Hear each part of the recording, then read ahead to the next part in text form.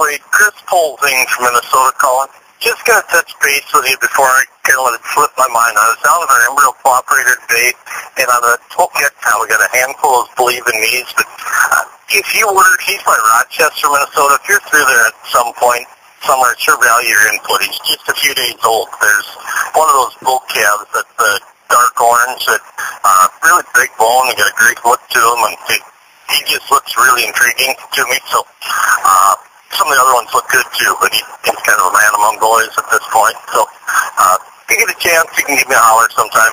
Six one two nine one six zero one zero five. Thanks, Wade.